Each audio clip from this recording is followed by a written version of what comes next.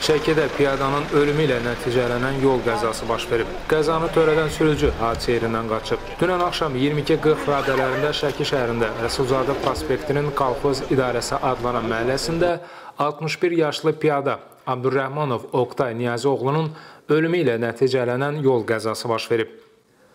Hadisəni törədən sürücü qaçdığı üçün hələlik avtoqəzanın hansı maşınla və kim tərəfindən edildiyi məlum deyil.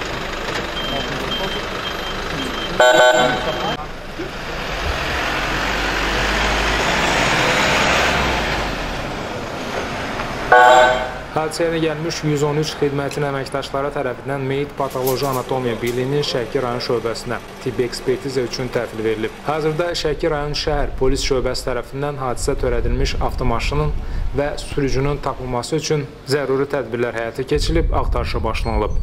Cabir Məmmədov, İlkin Akifoğlu, Səs TV, Şəki.